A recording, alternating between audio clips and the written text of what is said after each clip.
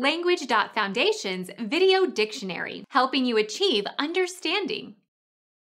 A truncated cloth cone mounted on a mast.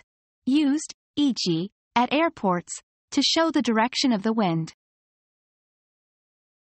Air sleeve, air sock, drogue, sock, wind cone.